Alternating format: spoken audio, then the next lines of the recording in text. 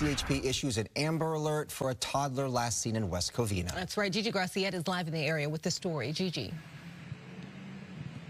That's right. What the relationship is between the suspect and the baby that was kidnapped is unclear. West Covina PD not putting out a lot of information, but we know that there is a desperate search on for this man. Take a look. This is the suspect identified by police as the man who kidnapped a one-year-old. His name is Wesley Williams. He's 46 years old, and again, he's accused of kidnapping a one-year-old boy named Weston Landrum. It happened last night. Again, what the uh, relationship is between the two, if any at all, is unclear. Now, Williams was last seen driving a white Toyota Tacoma truck with an extended cab, license plate 75001B as in boy 3.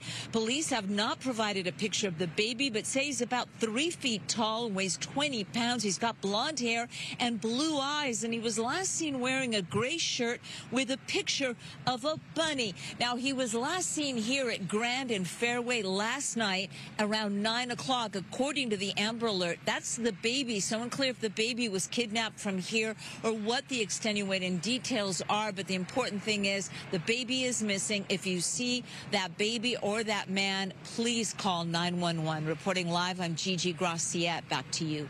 Please call 911. Gigi, thank you.